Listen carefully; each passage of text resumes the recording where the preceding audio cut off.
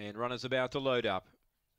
So the blue, favourite over the pink, then the black, and Aston Polak is the uh, the way punters are thinking. Green lights on, set to run.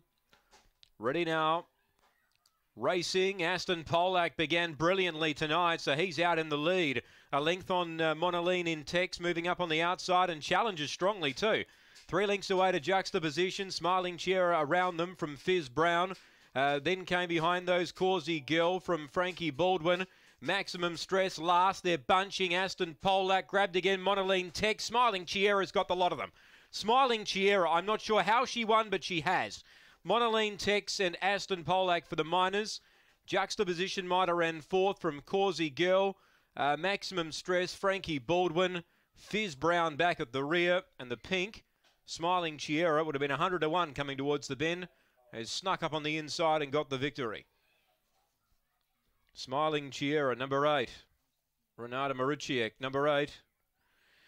Well, I'd have to watch the replay, but I don't know how she's won because she was back about fifth, five off the leaders, and obviously there was some trouble up front there because uh, there's she's made up a lot of ground in a short space of time.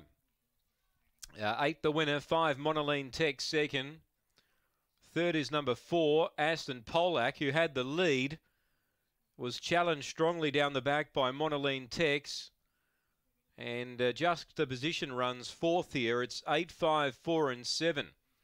23.95 the run, 8.87 early. And the run home was in 15.08.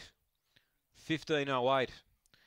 And uh, if you back the pink, you've used a lot of your luck early. 8, 5, 4 and 7. 23.95 was the time.